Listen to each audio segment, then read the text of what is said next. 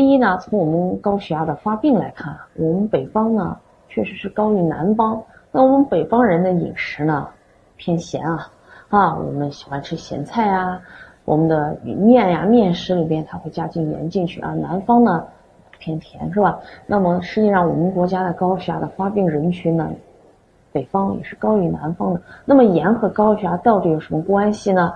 那么第一，盐它们主要成分是氯化钠呢。